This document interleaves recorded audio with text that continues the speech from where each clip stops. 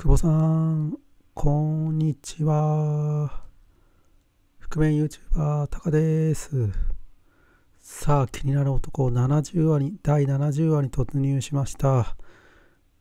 70話来ましたね、というところで。前回、前回ですね、えっと、前回の、ここですね、無料プレゼントから学ぶことということで、その69話が、えっと、23時、昨日の夜の11時過ぎぐらいにメールが来てたんですね。な久保さんが送ってくれてたんですけど、で気づいたのが0時過ぎてたんですよ、自分は。今日23時は最後のライブをしてて、プレゼントのあのキャンペーンの。で、0時に気づいた、あ来とると、来とると。ああ、ちょうど、そっか、1時間前にわざわざ送っていただいたんだな、送っていただいたんだなと思って、いや、ありがたいやらなんやらっていうところ、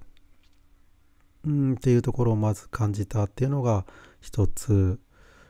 あとは、その、この、くしゃ、くしゃくしゃになったところ、この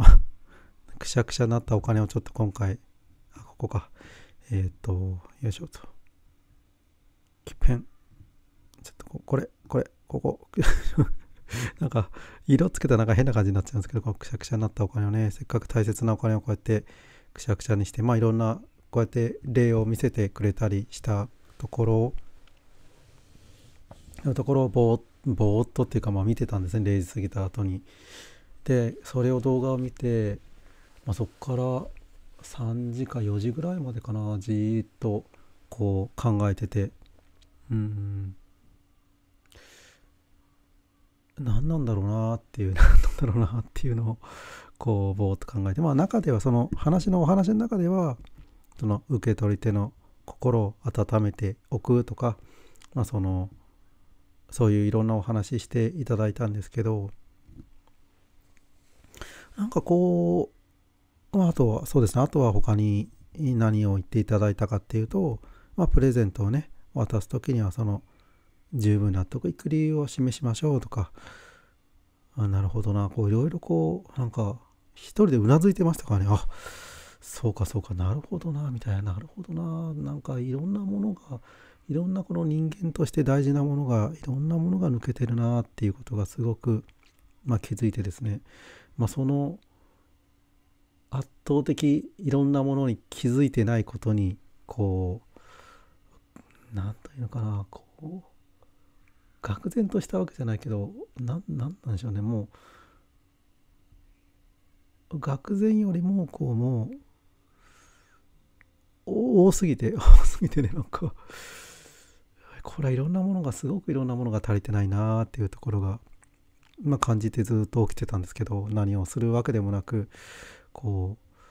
う、なんでこういうことになってんだろうなって思ってて、それでそのまま朝のね、久保さんのライブに突入しようと思ったんですけど、突入しようとした時に寝ちゃってですね、あやばいっつって。朝起きたらもう終わってて、あ、どあれあれみたいな。まあ多分ほんの30分とかなんですよ。ほんのちょうどライブを多分してた30分間だけ寝てて、また起きたら、みたいな。あれ、終わっとるみたいな。みたいな感じでね。いやー、何してんだろうなとか思ったりもしてたんですけど、その、ここがやっぱりすごく感じたなと思って、やっぱりその、ちょっとね、ここは話題がもしかしたらずれるかもしれないんですけど、その相手の心を思いやる日本人の和の心っていうところにすごくなんか通じるというか、まあ、そういうところがすごくなんか大切なところをこの、まあ、人を敬うとか思いやりの心を、うん、あとはその相手の意思を読み取りこう波長を合わせていくだったり。そういうことが自分はこう得意だったはずなのに、まあ、得意だったというか、うんまあ、生き抜くためには自分が生きるためにはこれをしないといけなかったはずなのに、まあ、そうやってこう敏感に生きてきたはずなのに今できていないっていうところ、うん、だからもうこの敬う心とか思いやる心とか、うん、その和の心っていうのがもう完全にこう、まあ、消えてしまっているところがやっぱりあるなっていうところがやっぱり今回すごく感じたなとは思っていて。どうしてもそのやっぱり年齢が高まっていくと、まあ、そういうところがやっぱりどうしても出てくる。うんこうねうん。やっぱそういうところっていうのがこう今回こういうなんだろうな。会社で仕事してたら意外とそういうのがこう、まあ、殺伐としててそういう心っていうのがもう完全に失われる現場ってやっぱりあるのかなと思ってて、まあ、人を人と思わないというかね、えー、まあ、人を物じゃないですけど、まあ、やって当たり前やら、ん、なんかそのうん思いやりとかそういうところはもう全部飛んでなんか結果主義とか、まあ、もちろん大事なんですけど、まあ、その組織の中でこう一つの駒として動いていくためには非常にそれもそういうその割り切った考え方っていうのも必要なんですけどなんかこのその心っていうのをもう一度こう取り戻すというかしっかりとこうやらなきゃならんなってていうのがすごく今回思い知らされたというか大切何が一番そういう大切なところなのかっていうのをすごくこう考えたような気が気がしますねこう夜ずっと。うんその中でプレゼントのこう理由付けだったり納得感につながるだったり、まあ、そういうところって結局その人の心をずっとよく考えていったらプレゼントを受け取る人に対してああこういう理由であれば受け取っていただけるかもしれないなとかあこういう言い方をすればもしかしたら伝わるかもしれないなっていうそういうことってやっぱりなんだテクニックテクニックっちゃ言わんですけどその相手のことをいろいろ考えて想像を巡らせればなんか出てくる自然と出てくる答えなんじゃないかなと思っていてその人と人との丁寧なつながりを大事にしていくそういうことってちゃんとできてるかっていうところは結局その出てきた表に出てきたのかなと。いうところがやっぱりあったりして本当になんかすごくそこは感じた感じましたね本当に。うん。今回の本当にキャンペーンを自分の中でやってみて本当に気づくことっていうのが、まあ、たくさんありましたし本当に、まあ、やってよかったなというところはありましたね、まあ、やってよかったなってあれはあれですけど本当にねこういろんなことに気づかせてもらった。もちろんねそのやる前にこういろいろ勉強だったり分かっていたつもりだったのが分かっていなかった。うん。分かろうとしてたんだけど分からなかった。そういうところっていうのがすごく感じた。この、まあ、3日間2日間まあこの週末って言い方がいいのかな。週末だったなとは思っていて。うんなんかこの70話でなんか何が言いたいかっていうわけじゃないんですけど本当に人としてどう生きるかとか、まあ、どうどう伝えるべきかとかどういう思いなのかなっていう。もちろんその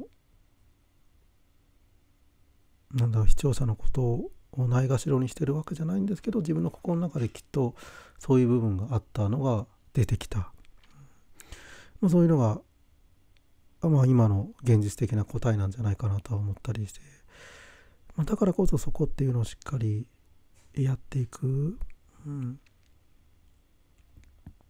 こういうなんだここですね、まあ、相手の意思をしっかり、まあ、読み取りというかこう想像するっていうところなのかなと思って相手がきっとこう思ってるだろうなとかきっとこうなんじゃないかなみたいなそういう想像ってあまり自分がこう今までしたことなかったところなので、まあ、そういうことをしていく、まあ、癖をつけるわけじゃないですけど、うんまあ、そういうのが足りてないっていうところがやっぱりなんかすごく気づいたことがあるなとは思いましたね。うんはい。ということで、今回は第70話ですね。第70話、気になる男ということで、やっぱりここがなんかね、ここっていうのが、言葉で言うと、まあ、こうなんですけど、その言葉の真意というか、裏の思いっていうところを本当に大切にしていかなきゃいけないところなんじゃないかなというのをすごく感じてちょっとね話題が少しそれかかってね今回のそのプレゼントのところと少しずれてるかもしれないんですけどただこの日本人のこの和の心、まあ、相手のことをすごく何というのか敬いですよね、うんうん、そういうところって、まあ、もちろんそのなんか集団で生きるっていう中の、まあ、人にその不快感を与えずコミュニケーションを取るっていう日本文化その中で自分の伝えたいことを控えめながらこう伝えていくというかなるべくこのね丁寧にやっていくみたいな思いやりですね。だから思いやりの文化っていうのをいうところをこうしっかり自分の中でもう一度やりながらこうやっていきたいなっていうところは感じます。やっていきたいなというかやらなきゃいけないなですね。まあ今までいろいろ欠けてたところがあるのでそういうところをこうやっぱりうん気づいてそしてやっていくうんすごく大事なことを学んだなと思いました。はい、ということで第70話ですね。第70話、うん、あそしてですね、えっと、プレゼントを受け取っていただいた方も本当にいますしあとはその別にね問い合わせをしてくれた方もいるんです。そのプレゼントキャンペーンとは多分その動画とは全然別で普通にこう単発っていう言い方はあれですけど普通にメールをこう少しねいただいた方もいてありがたいなっていうところでまだまだねこうやって未熟なところがある見え隠れねすごくしてますけどね。それでもこうそれに気づいて改善して学んでいってやっていくやっぱりこれが大事なのかなと思いましたね。はいということでちょっと最後はなんか完全になんか自分の世界に入っちゃってあれなんですけどちょっと 本当なんか本当今回そういうのに気づいてうんまあ気づいてねすぐに行動できるかどうかっていうのはねあれなんですけどただまずは気づくっていうことができない限り何も起きないのでそこからスタートようやくスタート切れたのかなと思ったりもしますねはいところで今回覆面 YouTuber 違うえっと 気になる男気になる男第70話これで終わりにいたしますありがとうございましたそして久保さん第71話ですねまた第71話まだいろいろねいろんなことを、学んでいかなきゃいけないなということを分かったので、またよろしくお願いいたします。はい、どうも。あ、違う、これじゃ切れないんだ。こいつも切るとき忘れちゃう。はい。ありがとうございました。